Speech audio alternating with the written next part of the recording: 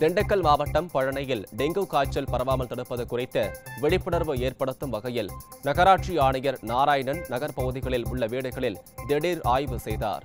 இதில் டெங்கு கொசுக்கள் உற்பத்தியாகும் வகையில் பராமரிப்பின்றி இருந்த வீடுகளுக்கு ஐந்தாயிரம் ரூபாய் அபராதம் விதிக்கப்பட்டது. இதுபோல் அலட்சியமாக செயல்பட்டால் கடுமையாக நடவடிக்கை எடுக்கப்படும் என அவர் எச்சரிக்கை விடுத்தார். இது போன்ற முக்கிய வீடியோக்களை உடனுக்குடன் தெரிந்து கொள்ள நியூஸ் ஜே யூடியூப் சேனலை சப்ஸ்கிரைப் செய்யுங்கள்